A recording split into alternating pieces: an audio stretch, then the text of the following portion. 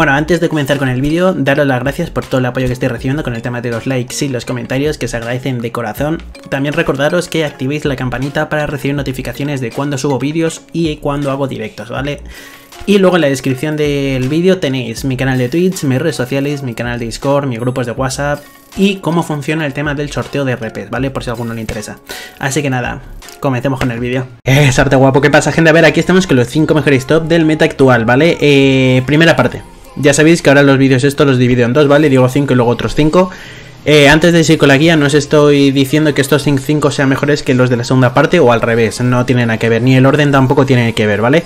Solo os voy a comentar 5 campeones que últimamente tienen muchísimo win rate, ¿vale? Tienen, digamos que la tasa de victorias es mucho mayor en comparación con otros top. Así que es algo a tener muy en cuenta, ¿vale? Por lo que, bueno, vamos a empezar con el primer campeón, que es Gnar, ¿vale? Yo digo Gnar, es Gnar, pero bueno, me gusta decir Gnar. Pero bueno, vamos con Gnar, ¿vale? Eh, os comento, eh, sinceramente de todos los top tiradores, ¿vale? O sea, sé que sean a distancia, es el que el único que me merece la pena. Sí que es verdad que puedes ir con Lucian, puedes ir con Bane, puedes ir con... Pero sinceramente en top eh, no hay nada mejor que un Gnar, ¿vale? Y más en el meta de los tanques. Como últimamente en top, sobre todo en top, se suele llevar siempre un tanque, un semi-tanque, no un off-tank, como se dice. Pues Nar, pues Nar es uno de ellos, ¿vale? Joder, qué manía con decir Egnar, tío. Es que lo llevo diciendo desde siempre, hasta que me corrigieron un día y me dijeron que dijera Nar.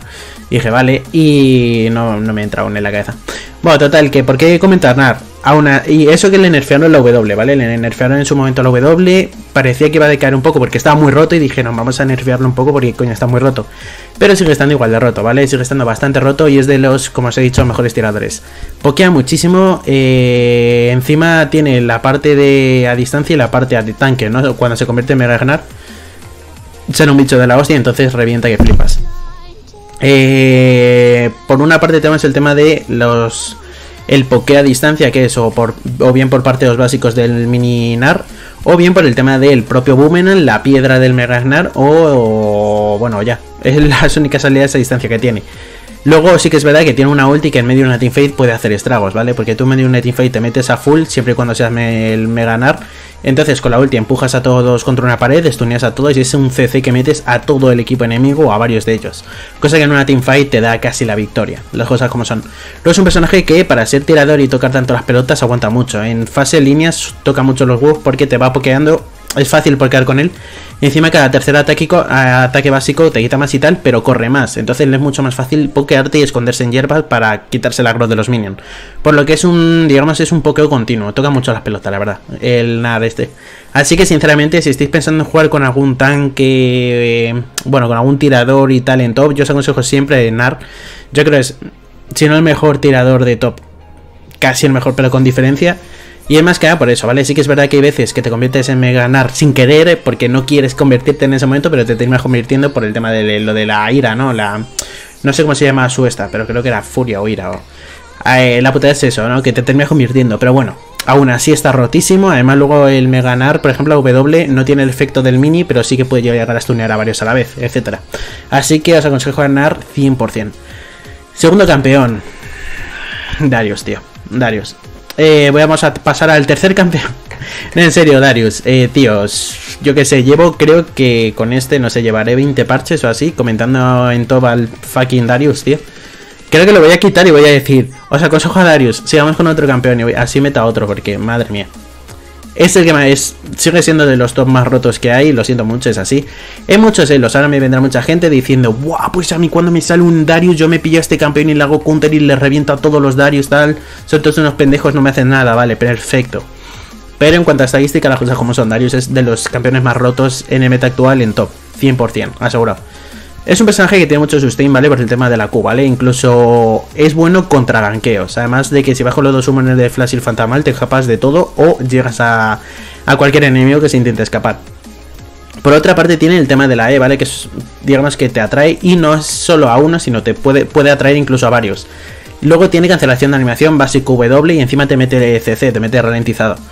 Después de eso te van metiendo marquitas, cuanto más marcas te meta, más daño te hace y con 5 marcas te puede tirar la ulti y te revienta el orto, ¿vale? Y encima, luego la R se vuelve a resetear siempre y cuando mates con la guillotina noxiana, creo que se llama la R si no me equivoco. Por lo que en una teamfight, ¡pum! R. Y con darle luego solo un básico, si ya a alguien le has metido el máximo de cargas, No sé si son 5 o 6 ahora. Pero bueno, si le han metido el máximo de cargas, pues entonces vuelves a tener la ulti. Y si la hiteas con la ulti a ese campeón, vuelves a tenerla y así. Por eso en una teamfight Darius es acojonante. Además de que dentro de una, como se ha dicho, que la Q se cura cuantos más campeones de, en medio de una teamfight tiras una buena Q y como des a 4 te hace la vida. ¡Pum! Te curas a la bestia. Y con los objetos que sacaron y tal, Darius está rotísimo, tío. Está rotísimo. Tenéis una guía de Darius en mi canal, pero pues eso, está rotísimo. No hay más. Vamos a pasar de campeón al tercero, ¿vale? Cho'Gath. Eh, es casi de los únicos APs que suelo aconsejar en top, ¿vale? En la segunda parte de la guía que haga de esto, sí que aconsejaré otro top que está bastante roto. Ahora mismo lo está pegando bastante eh, bien, está pegando bastante duro. Pues así Cho'Gath, ¿vale? Para, mm, bajo mi opinión sigue siendo el mejor AP top Porque es un AP, hacen bastante daño, tiene mucho CC Pero encima es muy tanque el cabrón Porque llega un momento en el que aguanta un huevo tiene por una parte pues el tema de los pinchos, ¿no? Para alzarte, que es algo de es un tipo de CC bastante contundente, tiene mucho alcance. Sí que es verdad que a veces es un poco un poquito complicado darlo, pero si consigues darlo, consigues mm, usarlo bien, por así decirlo, haces estragos. Lo mismo pasa con el tema del silencio, que encima es un silencio en área. Es al igual que los pinchos, los pinchos también son en área, el silencio también, pero sí que es verdad que el cono más grande. Pero los pinchos tienen más alcance, aunque el área de los pinchos en sí es bastante pequeña, es bastante minúsculo. Pues suele usarse contra un enemigo, pero más de una vez pillas a dos o a tres ahí que están pegados. Por así la gente de inteligente. Y entonces luego tienes también básicos potenciados por el tema de los propios pinchos estos que lanzan, ¿no? Eh, por lo que puedes llegar a pulsar líneas perfectamente. Todas sus habilidades, por así decirlo, junto con sus básicos potenciados, son en área, ¿vale? Hacen eh, daño en área efecto, ¿no? Entonces quieras que no, para todo lo que sea pusear o tocar las pelotas, lo hace de puta madre. Eh, por eso en fase líneas yo creo que es casi de los mejores mm, personajes si consigue darte toda, con todas sus habilidades, si aprovechas los tres básicos y esos potenciados y luego la R te destruye. Para casi cualquier campeón, da igual que seas tanque o no, es acojonante. Luego lo bueno de Cho'Gath, lo mejor que tiene es la R que encima se puede comer a monstruos épicos como los dragones, los heraldos, los varones. Y encima funciona como una especie de smite, porque luego llega un momento en el que, vale, se va haciendo más grande, va consiguiendo más vida máxima, entonces se hace aquí super mega ultra tank y super mega gigante. Cosa que toca mucho los huevos, porque el que sea tan grande es como que molesta. Parece una tontería, pero es, solo tamaño, ya, pero molesta. Porque llega un momento en el que se hace tan grande que solo ves a Cho'Gath. Y si le quieres hacer eh, focus a otro, está el puto Cho'Gath siempre en medio, ¿vale? Por eso es muy buen front lane, ¿vale? Toca mucho, está siempre ahí enfrente y te toca las la bolas a mano poder.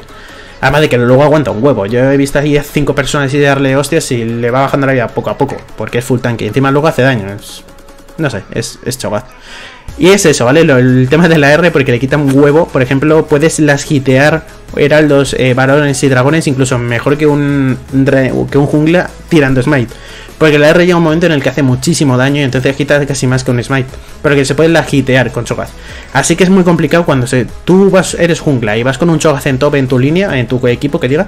Es complicado que te armen objetivos, sinceramente. Si tienes a Cho'Gath ahí al lado y tal, es complicado porque entre tu smite y su ulti os lo saléis petar 100%.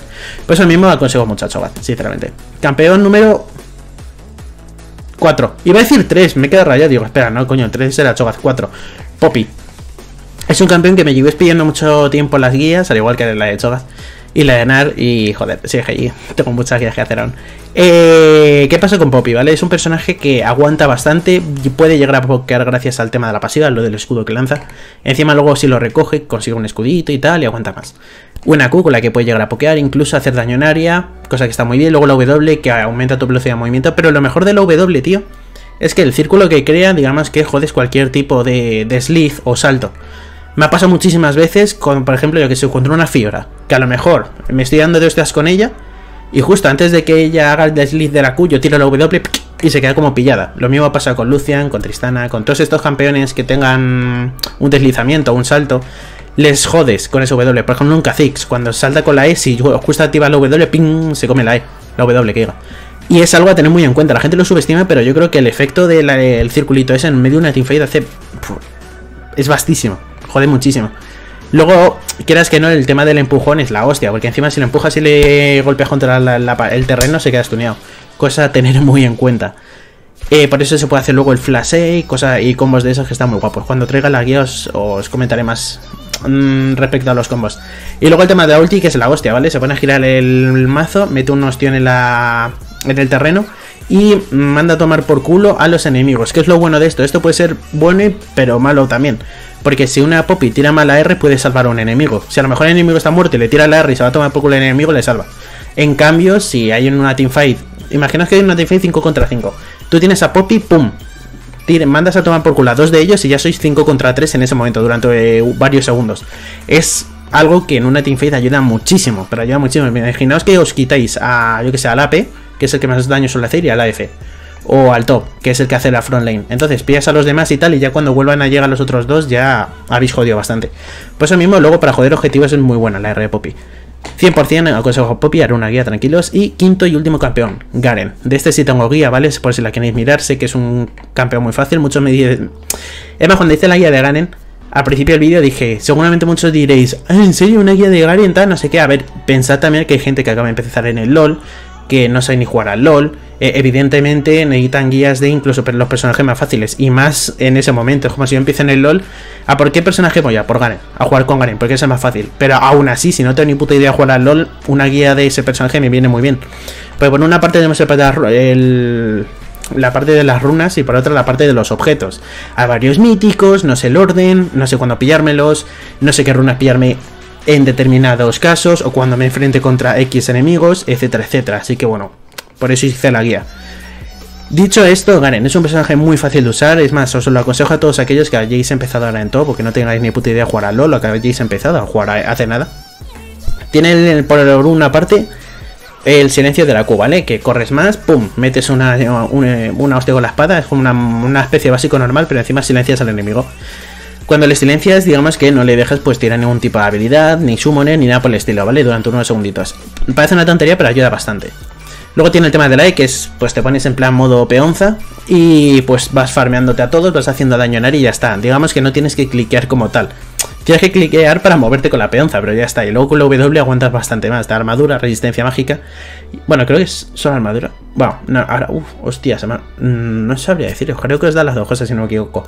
Y encima os da aguante contra el CC, ¿vale? Contra el ralentizado. Es más, si justo ralentizan y tiráis la W, ping, se os quita el, el, ralentizado. Y entonces ya aprovechéis el tema de la velocidad de la Q junto con la E si queréis, etcétera, etcétera, etcétera. Es un personaje para pulsar muy bien en una, en una teamfight. Te pones a dar vueltas, silencias alguno y poco más. Y luego la R, que es para agitar a un campeón. El típico campeón que esté bajo de vida, ¡pum! Le tiras un espadote, cae al cielo y ya está.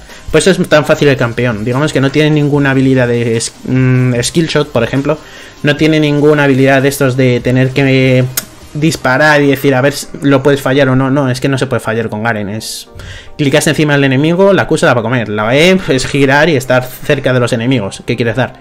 Y luego la R es clicar encima del enemigo y pum, y cae una espada. Por eso es tan fácil usar. Y en el meta actual está bastante roto. Así que nada, chicos, hasta aquí la guía. Espero que os haya rentado. Si queréis una guía de Garen, ya sabéis que la subí a mi canal. Eh, muchísimas gracias por todo el apoyo, el tema de los likes y los comentarios, se agradecen de corazón chicos, dejadme en los comentarios qué opináis respecto a estos 5 campeones que decir en meta actual. Y ya sabéis que, bueno, en eh, la descripción, como siempre os digo, justo debajito, debajo del vídeo, tenéis mi canal de Twitch, mis redes sociales, mi canal de Telegram, de, Discord, mi grupo de Telegram, tenéis todo, ¿vale? Incluso mi canal secundario que no tiene nada que ver con el LOL, pero da igual, ahí os lo dejo, así que yo qué sé, suscribiros y ya cuando vuelva él a subir vídeos y tal, que ahora estoy liado, pues eh, yo qué sé, no tiene nada que ver con el LOL, así que a lo mejor a más de una hora de renta.